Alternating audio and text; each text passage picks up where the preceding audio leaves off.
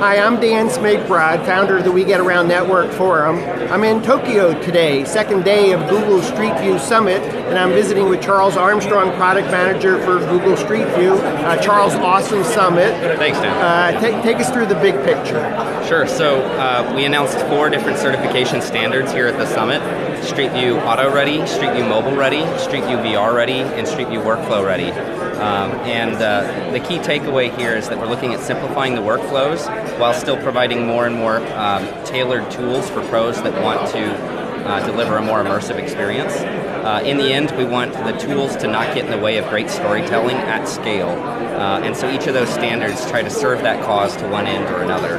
Um, I think the really exciting thing here, the takeaway that a lot of us are seeing from this event, is that the future is approaching a lot faster than a lot of people have given it credit for. Uh, Street View is a brand, but it's also more of a concept and idea. It's a, it stands for increasingly this idea that we'll be able to map the world's surface um, at a high degree of fidelity and a rapid cadence um, anywhere and everywhere that's publicly accessible.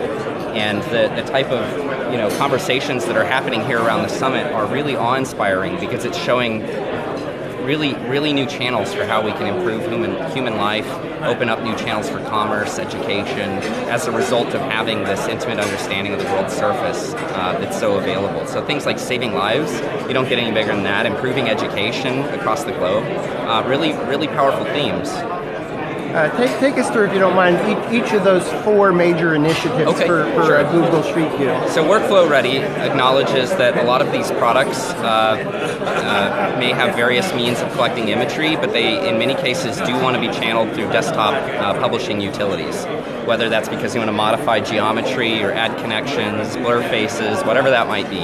So with Workflow Ready, we're saying there are certain standards to adhere to uh, where products can leverage the Street View Publish API to deliver a, a, a, reliable user experience in terms of publishing that content to Street View. Reliable, ex- reliably met expectations. Uh, Street View uh, Mobile Ready uh, requires that uh, any 4K capable 360 camera uh, or greater can publish, can capture, uh, process, and publish imagery all on site in mobile without having to go back to a computer. So this is really for those folks that want to share a moment in the moment and not have to worry about post processing it later necessarily. It's also good for professionals. We've seen some very high end cameras on that front. Uh, that, that really lend credence to this notion that DSLR workflows will always have a place, but they, they're not necessary for, for professionals any longer. VR ready, uh, we, we have yet to actually get into here at the summit, uh, but the notion is that you can convey geometry alongside pixels so that you deliver a more realistic Street View experience. We call it 2.5D. Uh, we're not delivering stereo, uh, but we do use this enhanced geometry to support the the, uh, the pixels that are collected in 360 photos, so that you get a more realistic trans. Uh, what do we call it? Translation from image to image as you move sideways. Um, that that uh, geometry comes through to give you a more realistic sense of parallax, uh, and so we think that's really going to continue to support professionals who want to deliver that highest degree of immersion. Mm-hmm. Um, and that's really kind of central to all of this. Is the more we can break down the walls of, of uh, separation between people that are trying to consume an experience and storytellers or or merchants that want to convey what it's like to be in a place uh, the more you can foster that, that confidence in decision making, that enthusiasm into light, these are important things. And finally, we have the, the Street View Auto Ready, uh, which is a standard specifically designed for cameras that can capture uh, at at least 15 megapixels at at least 5 frames per second with high quality IMU and GPS system uh, synchronization for, uh, for a stable clock, uh, a good antenna design. It's a pretty it's a pretty robust standard, but it essentially allows you to have your own Street View car.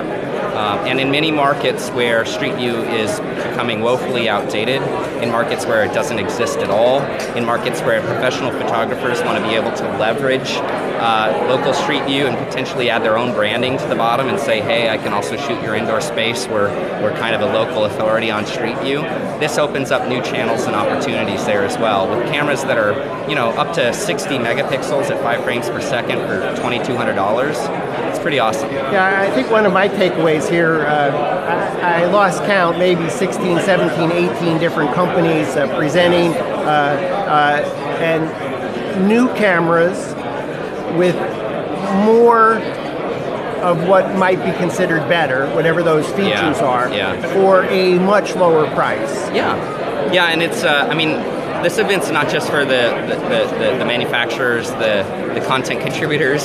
It's also for Google. You know, I mean, it's it is hard for us to stay out in front of an industry that, that MIT has recognized this year as one of the ten breakthrough technologies of the year. Uh, it is it is advancing so quickly. I was hearing from some people just ten minutes ago that that the first announcement in Auto Ready, they were like, "Oh my goodness, we have to buy this camera," and then the second announcement, they were like, "No, wait, we got to get that one," and then the third one, they were like, "That's the camera we got to get," and then the fourth Yeah. one, they were just like, "It just keeps getting better." Yeah, I, I, I, uh, I actually tingle when you say that because I, I, it was like, oh my God, this is like so overwhelming Yeah. that for a camera that was announced, uh, let's say, I think uh, well over a year ago at sixty thousand dollars, the equivalent camera now seems like it's grand, fi- It's you know two, two, two grand. Five, you know, a lot of cameras announced here for Yeah. under five grand Yeah. that have the functionality Yeah. of what a, another camera not that long ago was announced at, at a sixty thousand dollar price point.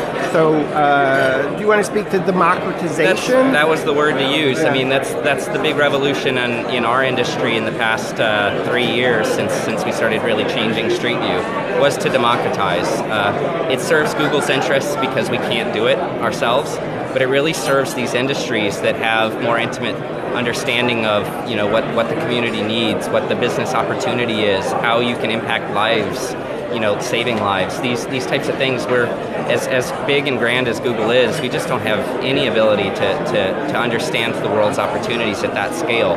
Um, and so to be able to open up this powerful technology and make it so accessible is awe-inspiring. And when you what, what, what we have to do continually is take a step back and say, what is the world going to be capable of in five years at this trajectory, right? We can't keep thinking, oh my goodness, it's all brand new and amazing today. We, we need to get out in front of this because the potential is, is really tremendous. As you know, the We Get Around Network forum communities is, made up of many professionals. Uh, and so there's this uh, perhaps somewhat of an angst if I've invested five or ten thousand dollars in camera gear and Yeah. accessories, Yeah. and now here we have cameras for under five hundred dollars that, that do something Yeah. quite remarkable. Can you can you speak to why the democratization and the and the price coming down is actually good for professional photographers? I can speak to both sides of it. As, as a guy that bought the first Sony Bravia XBR TV for $6,000 and then a year and a half later the same TV was basically available for $1,000, that was really painful. Very similar dynamic happening in the camera industry today. Um, but, uh, but, but look where we are, right? These, these capabilities are so advanced now that we can't sit here and continue to look back because the reality is it'll be this way still for the next couple of years. These, these prices are going to continue to drop, the capabilities are going to continue to increase. We need to get in and understand it now. The, the, new, the new field of view frame reference is 360 degrees, it's not 120 or 90 anymore. Yeah, I, I mean, one thing, and last thought, because I know you, you, probably need to get going with part two of uh, the afternoon I probably here. do. So, um, but I, I, I think when um, I lost my train of thought there for a second was, um, uh, I, and I actually may have lost it. When you, when you, uh, I, you know, I was thinking about democratization and the price coming down because photographers are thinking, oh my gosh, now I'm going to be competing with everyone that has a point and shoot, Yeah. with, you know, low, low price 360. Yeah. So, is there any inspiration that you can offer about why having? I, I, I, I, I, I guess actually the point. I do. I, I Yeah, have, a, yeah, I have a, yeah. uh, uh, an opinion on this one. Um, everybody has a powerful camera in their pocket these days, right? But the professional flat photo industry, take 360 out of it, is not suffering. There continues to be a great market for, peop for professionals that, that understand the industry. Uh, you know, just just looking back 10 years, there there there is no there's no lack of, of uh, opportunity now for those folks that are more more capable with with better equipment and better more skilled eyes. Uh, to think that 360 photography is any different is, in my opinion, kind of naive. Uh, the the industry will continue to grow. There will continue 360 will become a common part of the vernacular, and that's actually only going to continue to foster more opportunities for professionals to be recognized. Yeah, I actually was surprised to hear you talk a, a number of times that that the world is still just learning about 360 degree photography. Yeah. So we get it, right? We understand that it exists, and we think Street View, and I think that's why we leverage the Street View brand here. Yeah. But but the world is just starting to wake up to just how powerful this is, and I don't think anybody inside Google, outside of Google, fully appreciates the impact this is going to have on the medical industry, the education industry, insurance, and sales, and so many other things when you start to have this intimate understanding of the world. Yeah, so very exciting. I've been uh, I've been visiting with Charles Armstrong, product manager for Google Street View, uh, here in Tokyo on day two of the Google Street View Summit. Uh, Charles, thanks so much. Thanks a lot, Dan. And uh, you've been watching WGAN TV. Thank you, Charles.